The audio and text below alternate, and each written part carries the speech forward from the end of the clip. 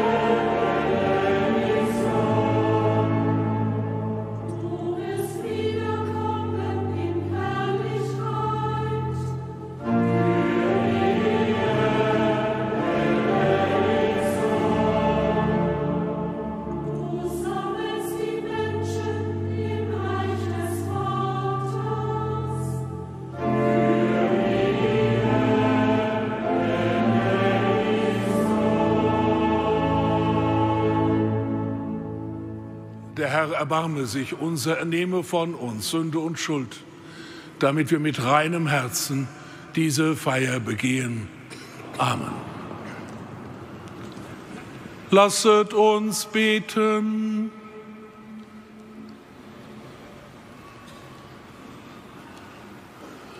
Gott, du unsterblicher Hirt, erhöre unsere Bitten für den verstorbenen Papst Benedikt, der deiner Kirche in Liebe vorstand. Vergilt ihm alles Gute, das er als dein treuer Verwalter getan hat, und führe ihn mit der ganzen Herde, die ihm anvertraut war, zur ewigen Freude. Darum bitten wir durch Jesus Christus, seinen Sohn, unseren Herrn und Gott, der in der Einheit des Heiligen Geistes mit dir lebt und herrscht in alle Ewigkeit.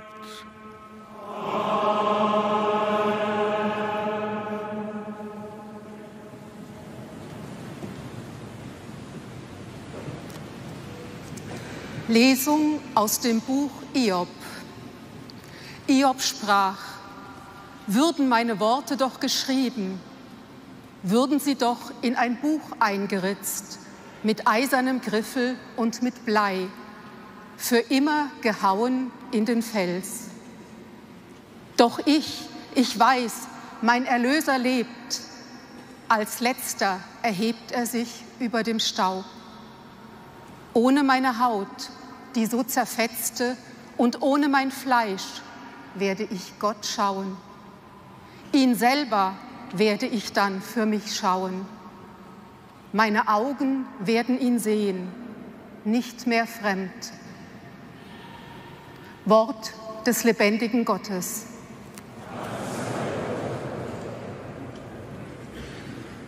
Amen.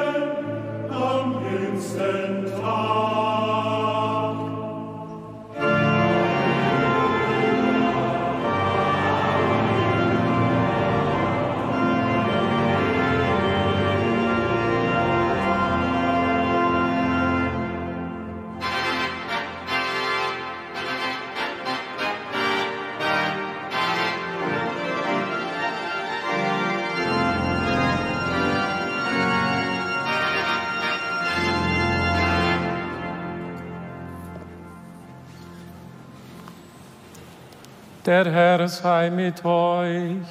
Und mit deinem Geiste. Aus dem heiligen Evangelium nach Johannes.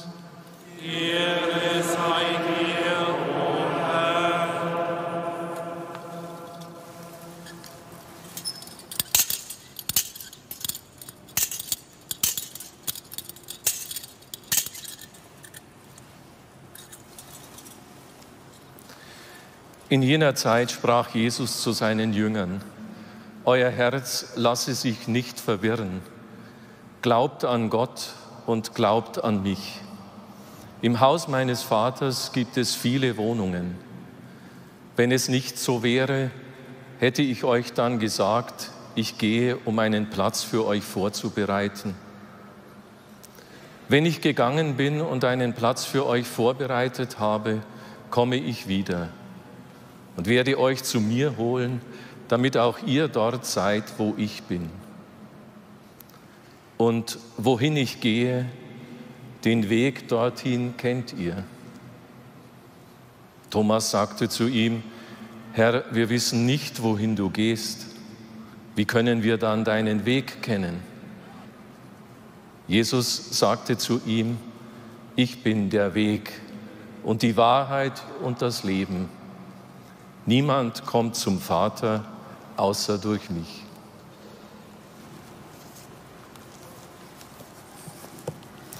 Evangelium unseres Herrn Jesus Christus.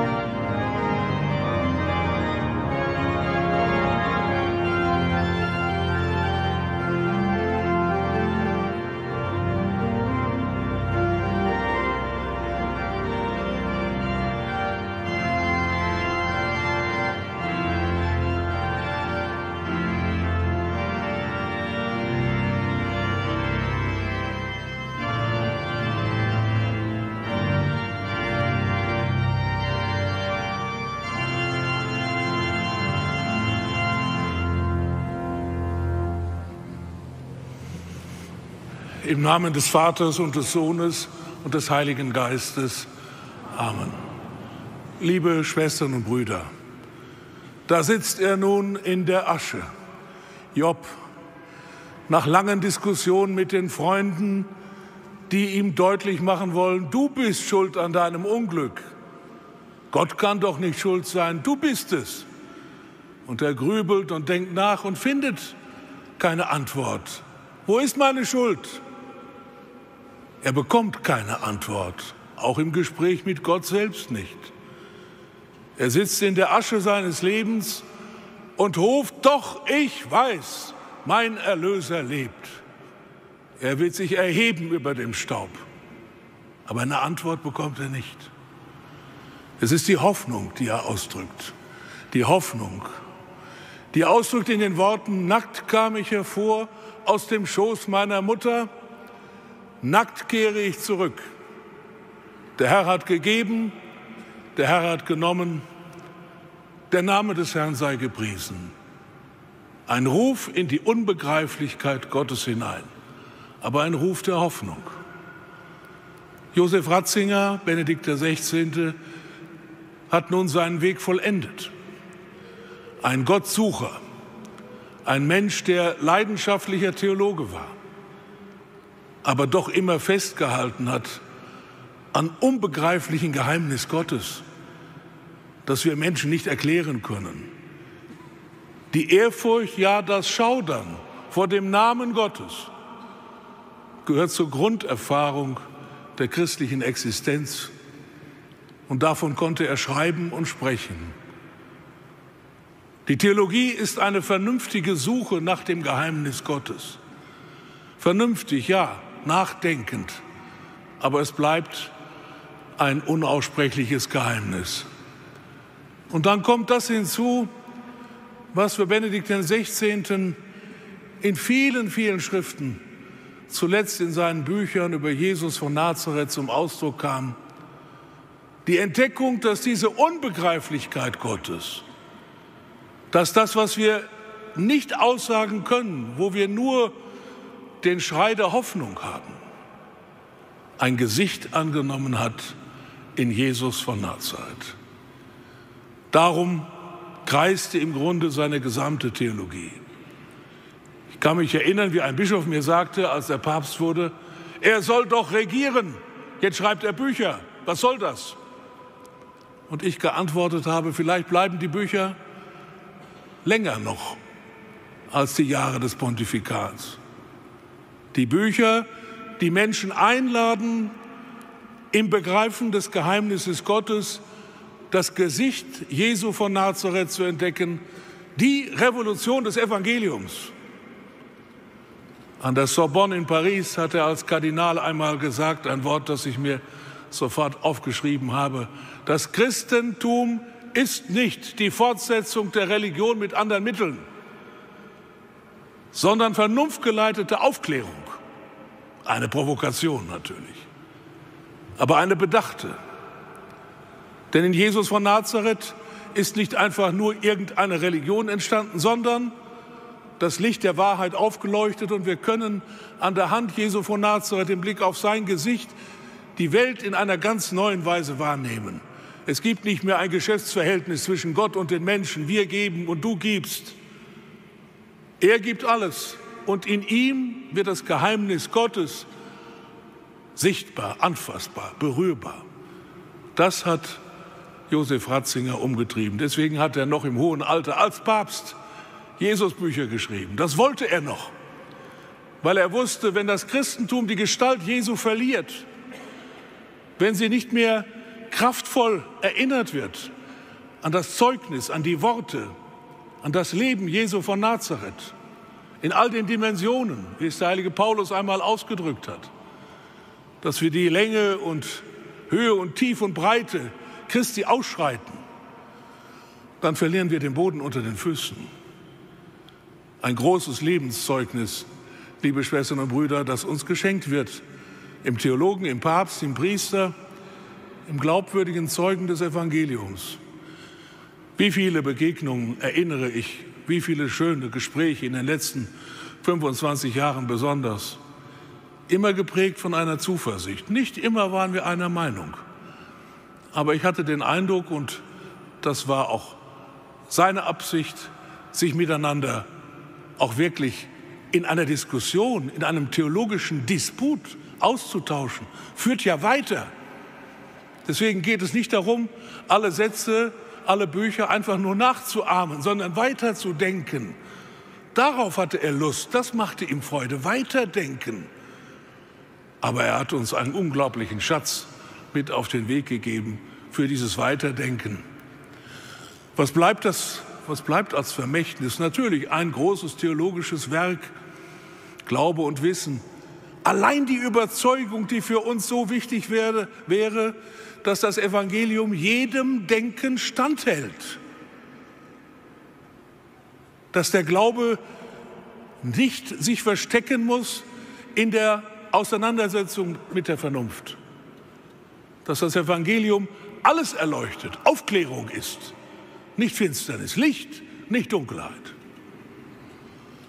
Ein wichtiges Wort, das mich auch begleitet und für die Zukunft der Kirche wichtig ist, glaube ich, war für ihn an der Liturgie. Entscheidet sich das Geschick der Kirche. Warum? Denn das, was Jesus von Nazareth sagt und was er tut, das ist nicht zuerst eine Lehre, wir glauben nicht an eine Lehre, wir glauben daran, dass eine Person lebendig, gegenwärtig unter uns ist. Der christliche Glaube ist ein Ereignis, sagte er einmal, ein Ereignis, ein Fest. Der Himmel öffnet sich. Wir feiern und aus dieser Feier entsteht eine Bewegung hin auch zur Gestaltung der Welt, natürlich. Aber wenn diese Feier kraftlos ist, dann kann die Zündung nicht funktionieren. Ich bin der Weg und die Wahrheit und das Leben. Zeig uns den Weg. Ich bin der Weg. Aber alle drei Worte, liebe Schwestern und Brüder, liebe Mitbrüder, gehören zusammen. Es geht nicht nur um die Wahrheit als einen losgelösten Schatz von Sätzen, sondern immer um die Wahrheit, die auch Weg ist und Leben ist. Und das geschieht in der lebendigen Begegnung mit dem auferstandenen Herrn. Deswegen ist die Feier des Gottesdienstes weiterhin das Zentrum, der Herzschlag der Kirche. Jesus von Nazareth. Das ist das zweite Vermächtnis vielleicht, was wir mitnehmen sollten. Immer wieder hinschauen auf diese Person. Immer wieder ihn als Wegbegleiter. Immer wieder von ihm her denken. Die Erneuerung der Kirche, die Erneuerung des christlichen Glaubens geschieht nicht über einige Strukturen, Sie geschieht immer wieder in der Neuentdeckung der lebendigen Begegnung mit dem auferstandenen Herrn in der Feier der Eucharistie. Daraus entsteht das neue Leben. Darum bemühen wir uns, liebe Mitbrüder. Darum müssen wir uns bemühen in unseren Vereinen, unseren Gemeinden, dass die Menschen spüren, im Gottesdienst geht der Himmel auf. Wir können feiern, wir können ihm begegnen, dem lebendigen Christus. Im Jahre 2005 war er ja zum ersten Mal als Papst in Deutschland und ich kann mich erinnern, ich war ja noch Bischof von Trier, dass er sich dann zum Schluss verabschiedete, bevor er zurückflog am Abend von der Deutschen Bischofskonferenz. Ich habe ihn dann zum ersten Mal von der Nähe her als Papst gesehen, konnte ein paar Worte mit ihm wechseln. Und dann hat er eine Meditation angeschlossen, eine Betrachtung über das Psalmwort, Dein Angesicht, Herr, will ich suchen. Und bald legte er sein Manuskript beiseite und extemporierte über das Suchen und Finden. Und wie der heilige Augustinus diesen Psalm interpretiert. Das Suchen und Finden ist das große Glück des Menschen. Suchen und finden, suchen und finden. Und Augustinus meint in alle Ewigkeit. Suchen und finden. Josef Ratzinger ist jetzt eingetreten in diesen dynamischen Prozess zu suchen und zu finden im Geheimnis Gottes in alle Ewigkeit. Suchen und finden. Das wird sein Glück sein und das wird unser Glück sein. Amen.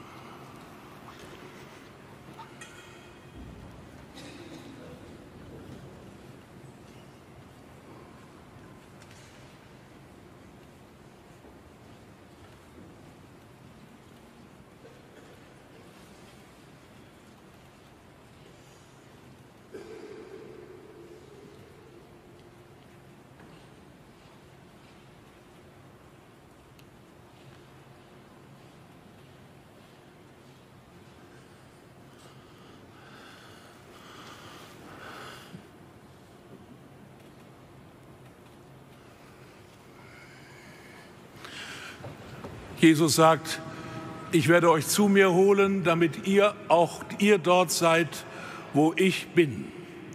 Im Vertrauen auf dieses Wort bitten wir. O Gott des Lebens, wir bitten dich, erhöre uns. Wir trauern um Papst Emeritus Benedikt XVI. Dir hat er vertraut, mit dir hat er gelebt, dich hat er gesucht. Gewähre ihm Verzeihung seiner Sünden und lass ihn dein Angesicht in Freude schauen.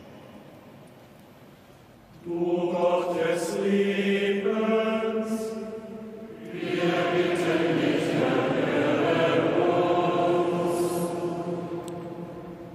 Benedikt XVI. hat dir und den Menschen als Priester, Bischof und Papst gedient Stärke alle, die teilhaben an deiner Hirtensorge, damit sie deine Frohbotschaft treu verkünden und die Sakramente zum Heile der Menschen feiern. O Gott des Lebens, wir bitten dich,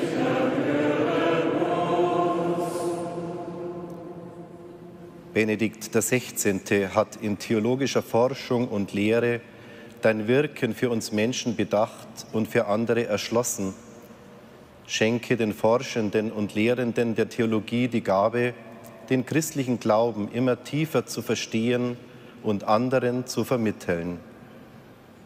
O Gott des Lebens,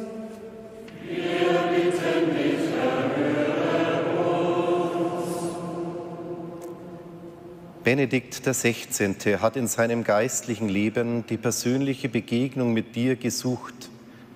Komm auch du uns entgegen und öffne unsere Herzen für deine Gegenwart in unserem Leben. O Gott des Lebens,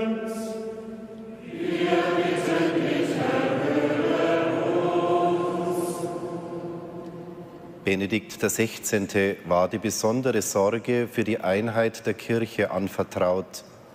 Bewahre uns in der Gemeinschaft deiner Kirche und führe alle zur Einheit, die an dich glauben.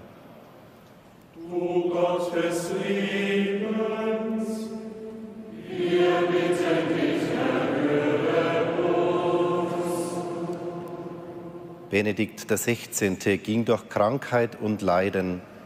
Stehe alle Kranken und Leidenden bei in ihrer Not und heile sie. Nimm sie an die Hand, wenn sie vom Tod zum Leben bei dir aufbrechen. O Gott des Lebens, wir bitten dich, Gott, du bist Licht in der Dunkelheit und schenkst Leben, wo wir Menschen tot sehen. Dir vertrauen wir uns an, denn du bist größer, als wir denken können. Dir sei Lob und Dank in Ewigkeit. Amen.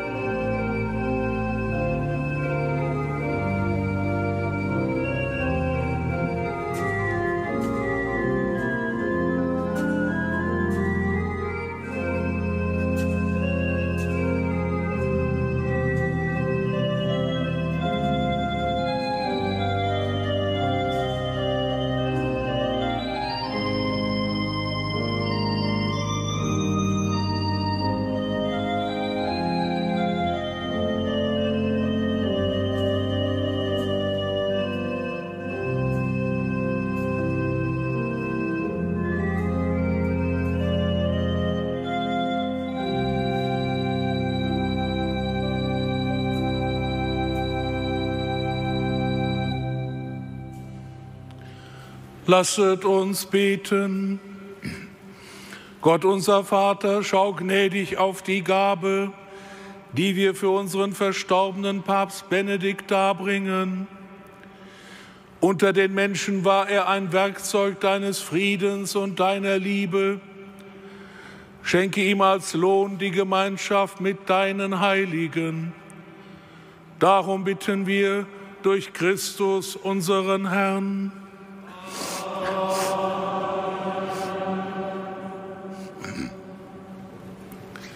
Der Herr sei mit euch. Erhebet die Herzen. Lasset uns danken dem Herrn, unserem Gott.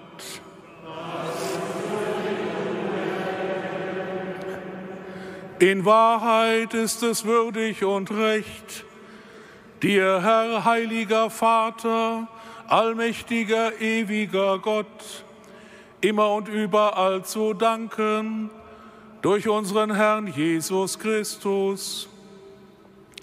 In ihm erstrahlt uns die Hoffnung, dass wir zur Seligkeit auferstehen. Bedrückt uns auch das Los des sicheren Todes, so tröstet uns doch die Verheißung der künftigen Unsterblichkeit. Denn deinen Gläubigen, o oh Herr, wird das Leben gewandelt, nicht genommen. Und wenn die Herberge der irdischen Pilgerschaft zerfällt, ist uns im Himmel eine ewige Wohnung bereitet. Darum singen wir mit den Engeln und Erzengeln, den Thronen und Mächten, und mit all den Scharen des himmlischen Heeres den Hochgesang von deiner göttlichen Herrlichkeit.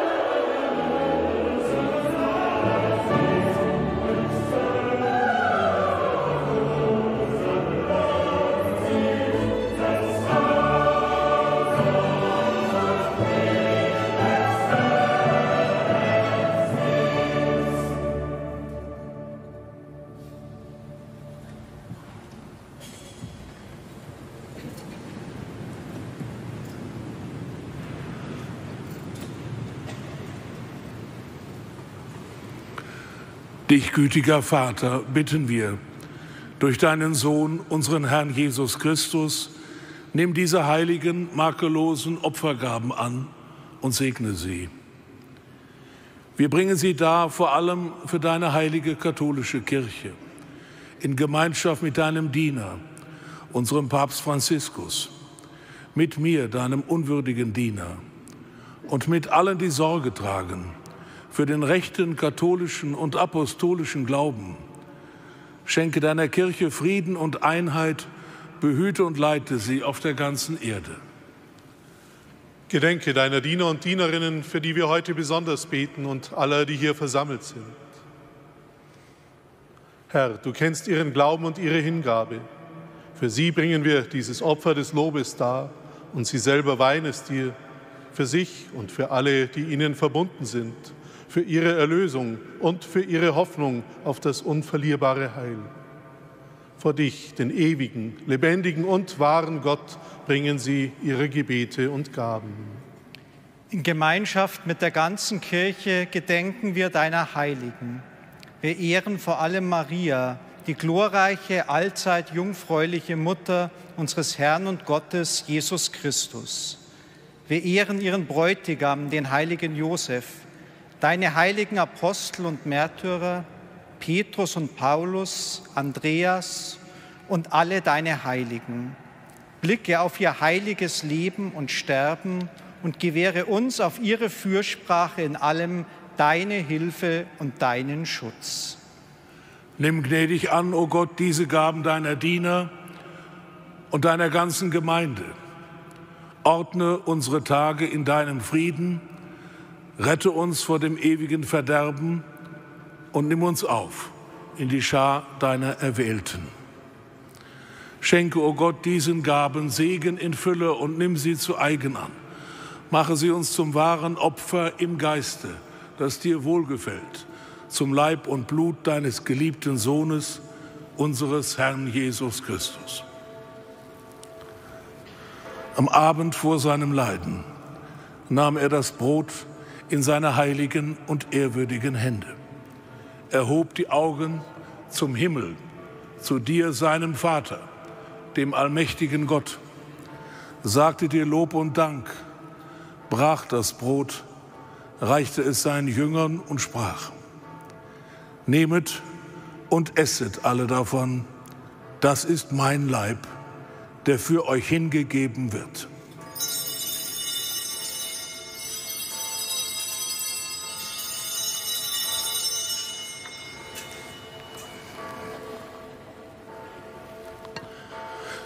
Ebenso nahm er nach dem Mahl diesen erhabenen Kelch, in seine heiligen und ehrwürdigen Hände, sagte dir Lob und Dank, reichte den Kelch seinen Jüngern und sprach, Nehmet und trinket alle daraus, das ist der Kelch des neuen und ewigen Bundes, mein Blut, das für euch und für alle vergossen wird, zur Vergebung der Sünden.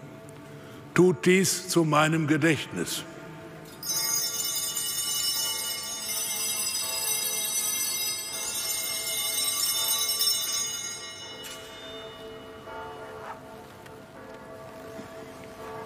Geheimnis des Glaubens. Deinen Tod, o oh Herr, verkünden wir, und deine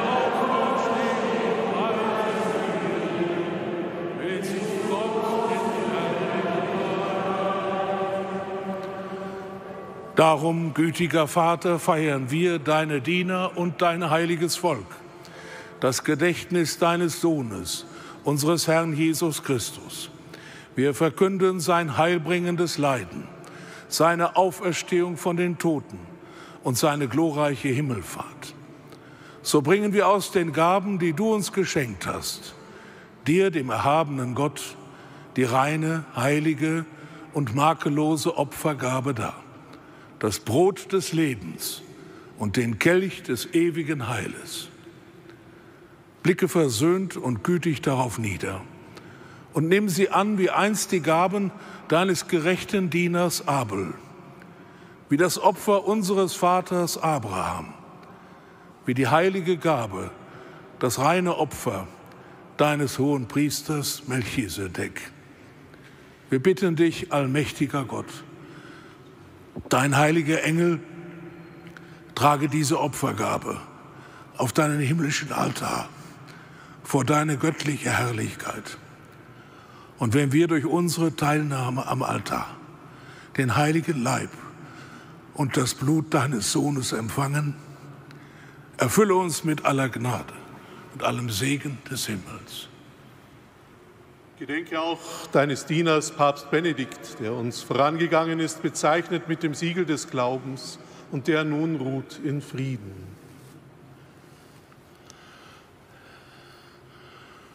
Wir bitten dich, führe ihn und alle, die in Christus entschlafen sind, in das Land der Verheißung, des Lichtes und des Friedens.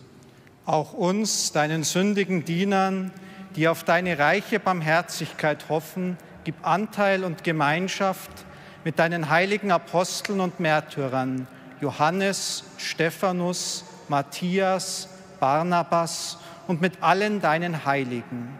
Wäge nicht unser Verdienst, sondern schenke gnädig Verzeihung und gib uns mit ihnen das Erbe des Himmels.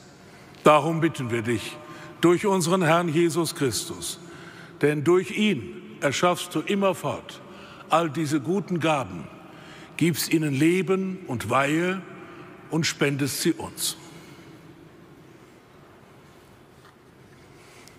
Durch ihn und mit ihm und in ihm ist dir Gott allmächtiger Vater in der Einheit des Heiligen Geistes aller Herrlichkeit und Ehre, jetzt und in Ewigkeit.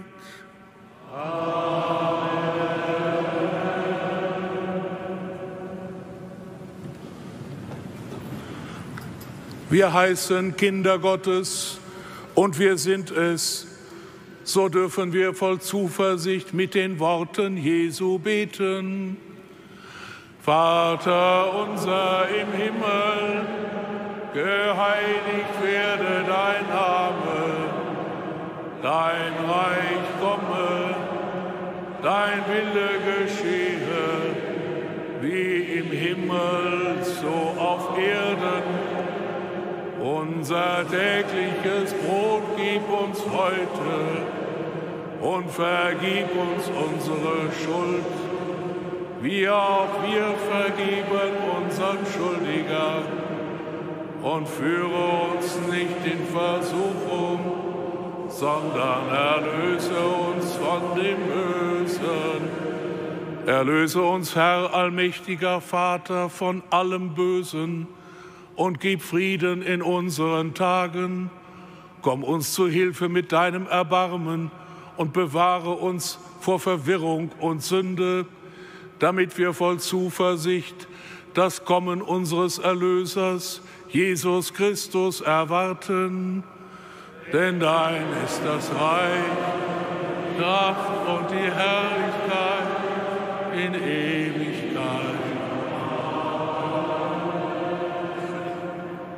Wie sehr beten wir in diesen Tagen um Frieden und Einheit in der Welt aber die Kirche selbst soll ein Zeichen der Einheit und des Friedens sein.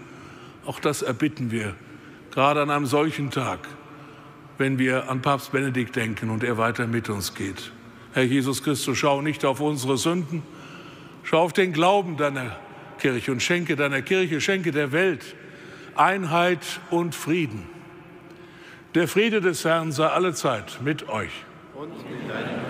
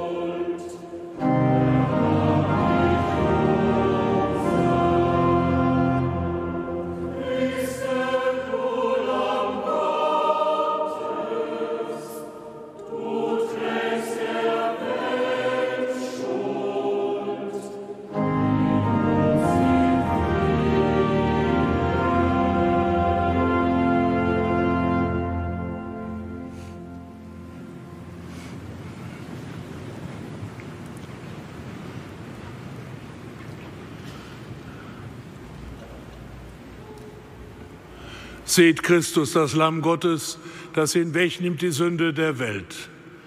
Herr, ich bin nicht würdig, dass du eingehst unter mein Dach, aber sprich nur ein Wort. Mit Thomas fragen wir, Herr, zeig uns den Weg. Und er antwortet, ich bin der Weg und die Wahrheit und das Leben.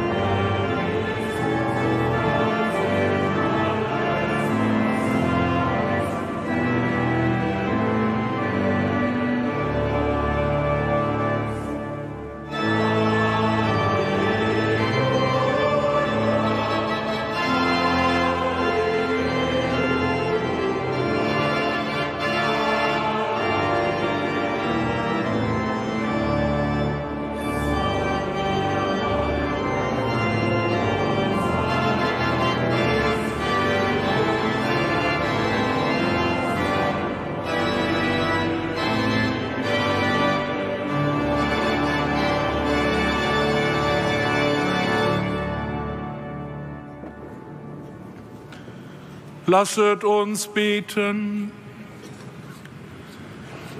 Barmherziger Gott, du hast uns die Speise des ewigen Lebens gereicht. Gedenke deines Dieners, unseres verstorbenen Papstes Benedikt. Er hat seine Brüder und Schwestern im Glauben gestärkt. Führe ihn und uns alle vom Glauben zur vollen Erkenntnis der Wahrheit. Darum bitten wir durch Christus, unseren Herrn.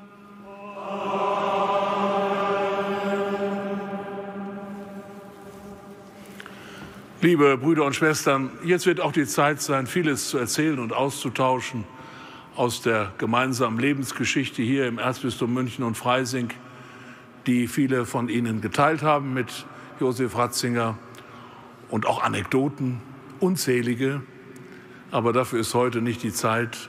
Aber ich möchte doch darauf hinweisen, dass er in einer großen Liebe zu seiner Heimat immer wieder neugierig war und wahrscheinlich nur deswegen ich doch immer wieder Zugang hatte, weil ich etwas aus dem Erzbistum erzählen konnte. Aber ich wusste, er hatte auch andere Quellen der Information. Insofern äh, war er immer gut im Bilde. Aber ich will es doch noch einmal hier im Dom zu unserer lieben Frau, wo er fünf Jahre lang gepredigt hat, außergewöhnlich faszinierend über unsere Kirche hinaus, über unsere Domkirche hinaus hat das Wirkung gehabt, äh, dass das im Bewusstsein bleibt, dass er mit uns eng verbunden war, mit uns hier in Bayern. Es wird ihn einige Überwindung gekostet haben, einen Westfalen auf den erzbischöflichen Stuhl nach München zu holen. Aber wir haben ein wunderbares Verhältnis gehabt. Und unsere letzte Begegnung, äh, ich habe ja immer gesagt, segne mich am Schluss. Und diesmal habe ich zum ersten Mal gesagt, merkwürdig, und jetzt segne ich dich. Und er sagt, ja, ja bitte. Und das war unsere letzte Begegnung. Aber Sie werden alle Ihre eigenen persönlichen Erfahrungen und Begegnungen haben. Ich bin voller Zuversicht, dass er weiter mitgeht und sein Ziel gefunden hat. Bitten wir um den Segen Gottes. Der Herr sei mit euch. Der Name des Herrn sei gepriesen. Unsere Hilfe ist im Namen des Herrn. Es segne und behüte euch auf die Fürsprache der allerseligsten Jungfrau Maria, des heiligen Corbinian, des heiligen Benno, der allmächtige und gütige Gott, der Vater und der Sohn und der Heilige Geist. Geht hin in Frieden. Dank sei Gott.